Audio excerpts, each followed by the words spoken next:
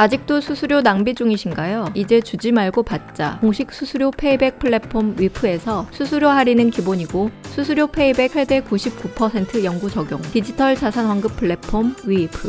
여러분 안녕하세요. 코인 대장입니다. 여러분들은 현물 거래와 선물 거래의 차이점을 알고 계신가요? 아마 대부분 두루뭉술하게 알고 있는 게 전부일 텐데요. 때때로 무지에서 오는 위협은 대응할 수도 대처할 수도 없기 때문에 전문 trader로 거듭나기 위해선 필수적으로 알아야 하는 요소에 가깝습니다. 그래서 오늘은 암호화폐 시장에서 현물 거래와 선물 거래의 차이점을 알아보고 각 거래 방법이 갖는 이점에 관해 이야기를 해보려 하는데요. 일반적으로 현물 거래는 현실 대부분의 거래에서 이루어지는 방법인데 현물과 대금을 교환하는 방법입니다. 이런 특성 덕분에 현물 거래는 청산이 결코 이루어질 수 없 없지만 동시에 시드머니에 대해 일반적인 수익률밖에 기대할 수 없습니다. 선물 거래는 암호화폐의 경우에 대금을 증거금과 미수금의 형태로 지급하는데요. 이에 따라 받는 물건은 언제든 매도 매수가 가능하지만 거래소의 손해를 막기 위해 평가 손해가 증거금을 넘기는 순간 자동으로 매도 매수 처리됩니다. 이를 청산이라고 부르는데요. 선물 거래의 옵션 중 하나인 레버리지는 이 증거금과 미수금의 비율로서 이를 증거금에 대한 증거금과 미수금의 합의 배율로서 나타낸 것입니다. 따라 따라서 레버리지가 높으면 높아질수록 미수금에 비해 증거금이 적어지기 때문에 청산 위험이 커지는데요.